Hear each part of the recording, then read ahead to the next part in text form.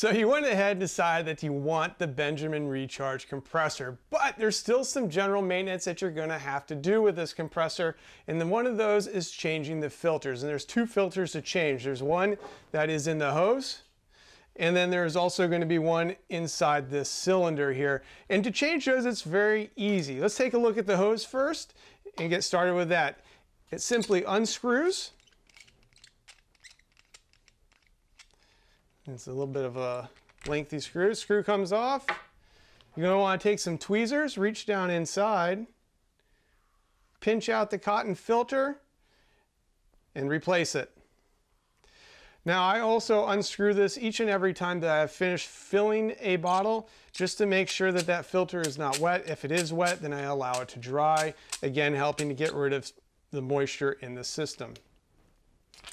The second filter that you're going to want to do, like I mentioned, is in this cylinder here. And it's a little more complicated to get to. The instructions suggest that you can take this and us unscrew it using a 30 millimeter wrench on the top here.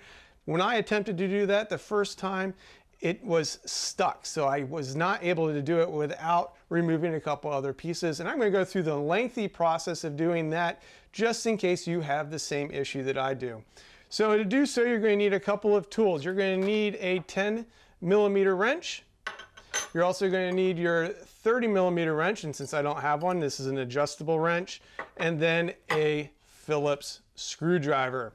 So where do we begin? Well, in this case, I want to begin by releasing the copper tubing that is pushing the air into the cylinder here. And to do that, I'm going to use a 10 millimeter wrench and unscrew the last uh, connecting bolt here on the end. And of course, I've already loosened it up for purposes of doing the video. Once it is loose, you should be able to, using your fingers, unscrew it. Now I push in the copper tubing, you see me doing that? And that allows to take any of the pressure off of the bolt. And once the bolt is off, I can then release the copper tubing. And that's gonna make sure that this stays nice and clean and not bent or any of those things. Next, what I'm going to want to do is go ahead and take the pressure gauge, has a wire on the back side that allows for the automatic shutoff, and I'm going to have to unplug that. So to do so, we're going to spin this compressor around, and you'll see the one black wire here. And that black wire is very easy to reduce or release. Release the black wire so it is no longer connected to the electrical system. You're going to want to make sure that the compressor is unplugged before you do any of this. We'll spin the compressor back around to the front. And here we're going to have two screws that we will have to release. And to do though, you're going to use your Phillips screwdriver and go ahead and unscrew them.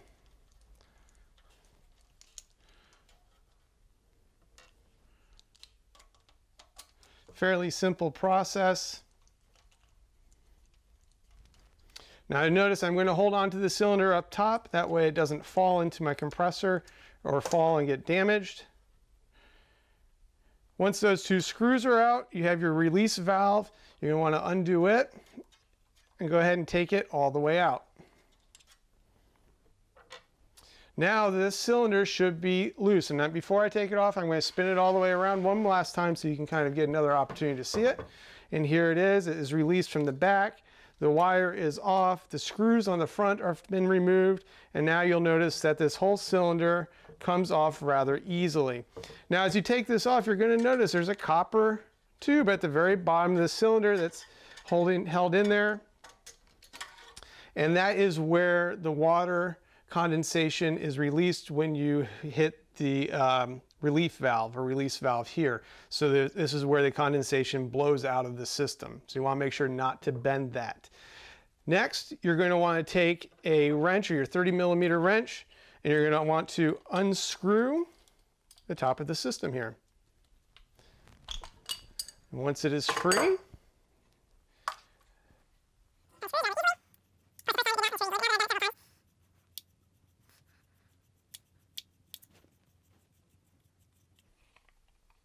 Okay, you will notice that there is an O-ring here. They do send replacement O-rings should it uh, the cylinder be leaking out the top. Then you're going to look down in there and you're going to see a cotton filter in there. And this is where you're going to need the tweezers to pull it out. So you're going to reach down in there grab the filter and pull it out. And you can tell that this one is a little dirty. So um, it is going to be good for me to go ahead and replace it. It is a little damp on the inside and to replace it, I'm going to grab one of the filters that they send and these are available online uh, through Amazon and different locations. Use the tweezers again, put the filter on inside, push it down to the bottom. It should be a nice tight fit. And then we're going to reverse the process to put it all back together.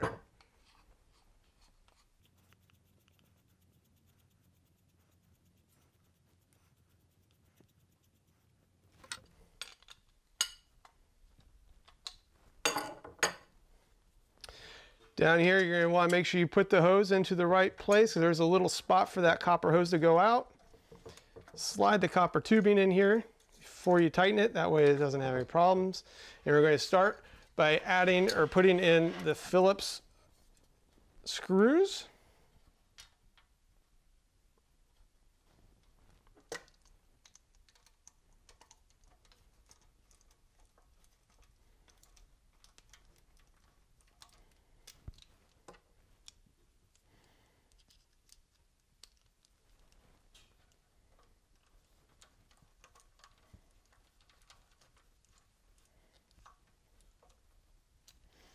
Making sure we put the relief or release valve back together.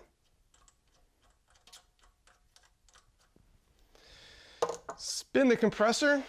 And we're going to see, we're going to want to make sure that we hook up the electronics again.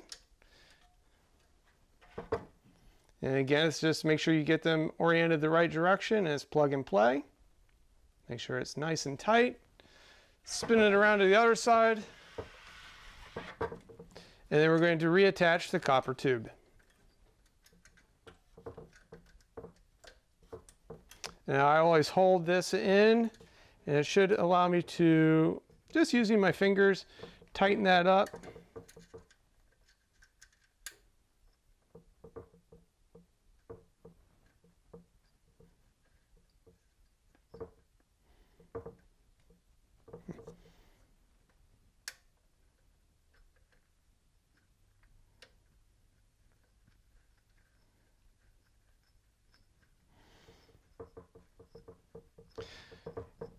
And once you get it screwed in there, you're gonna wanna snug it down, not too hard, but just snug it down so it's nice and tight to prevent any air from leaking.